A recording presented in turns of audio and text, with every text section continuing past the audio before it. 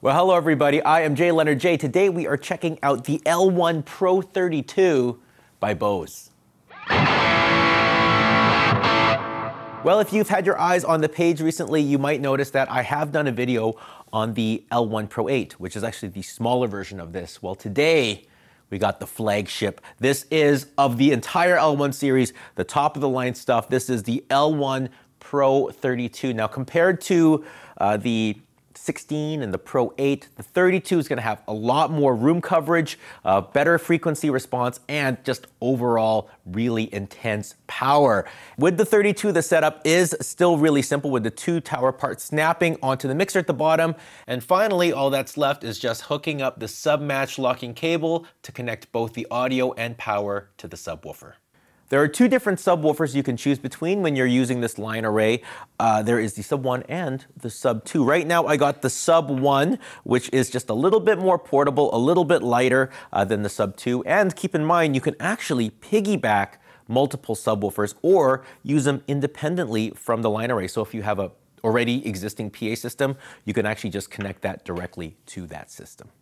As you can tell with something like this, it's very small, it's very lightweight, uh, very lean. Uh, what we're gonna do today is I'm gonna try to figure out some things to do with it in terms of a solo songwriter kind of situation. And then we'll also try to set it up in an ensemble situation to see exactly how it can make your life a lot easier. Let's get into it.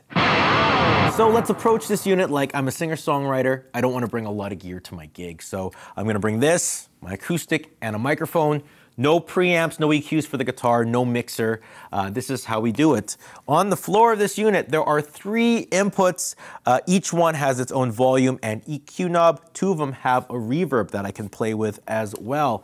I could control all those parameters with the touch button knob, which is on the floor, or I can use this over here, which is uh, the little iPad app, which makes my life so much easier. I could recall presets, I could save presets, and I can do all my adjustments while walking around the room just to make sure my EQ is perfect. So uh, right now I got my voice in one and I got my acoustic in two. So let's hear what my acoustic sounds like.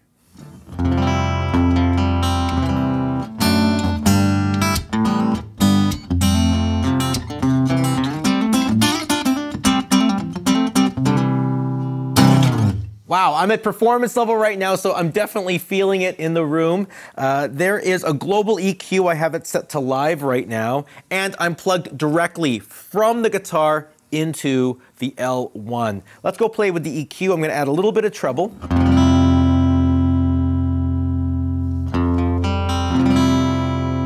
And take a little bit of the bass away.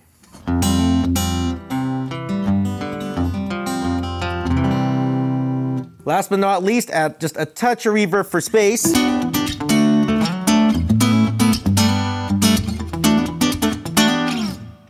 Now that we got the guitar figured out, let's go move over to the microphone in channel one. Oh, here it is. This is what my voice sounds like through the microphone. I could use the EQ here, but I'm not going to do that. Instead, I'm going to use the tone match. Uh, they actually came up with a bunch of different EQ curves for a variety of different things. And it just so happens, if you look here in the tone match setting, they actually have one for a beta 58, which I have it set to. So all I have to do is just press the tone match button, and all of a sudden, the microphone is set up perfectly for a beta 58. I don't have to do anything. Maybe let's just add a little bit of reverb, and there you go. I got myself a whole setup in a minimal amount of time, and I'm ready to rock and roll.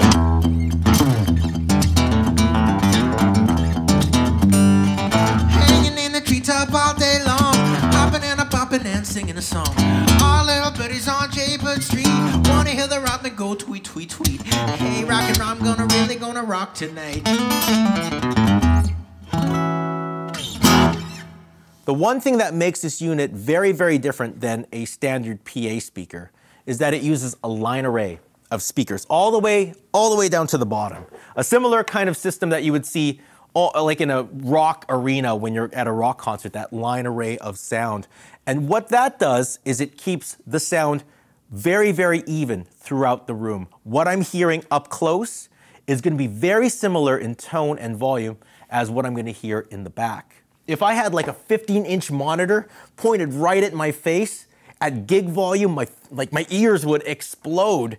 But with this thing, I can go really close to it and use it as a personal monitor. Put this thing behind the band. What the band is hearing on stage is what the audience is gonna hear. And that is crazy and a little bit of a trip. Check this out. I got my phone here, hooked up Bluetooth to it. I'm just gonna play like a backing track. Right? Now, if you look at my app, I have the volume very, very loud. This is actually very loud. If you're in the back of the room, you're gonna be ready to bump. But because of the fact that we're using a line array, I can pretty much put my ear right up to the very, very speaker and it's gonna be completely fine. I'm not going to blow my ears out and the tone's gonna be nice, consistent, and even so I can just jam out and play.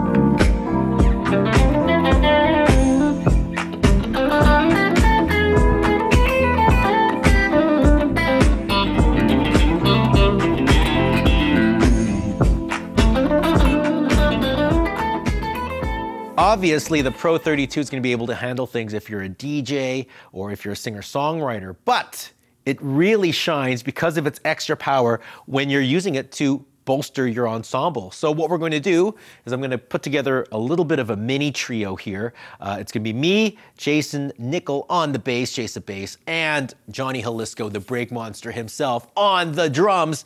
Uh, the way we're going to get everything patched in, my vocals are going to go into line one. Uh, the bass and guitar are going to go through my GT1000 into line 3, and we are only miking the kick drum. The kick is going into line 2. The L1 is in the very, very back of the room, so it's going to be shooting all the sound to us and to all of you out there. I have a room mic to capture the sound as well as a little bit of the line out blended in from the L1. And we're going to see if the bass and the guitar and the vocals could handle playing in the same room with that drum set. Let's get to work.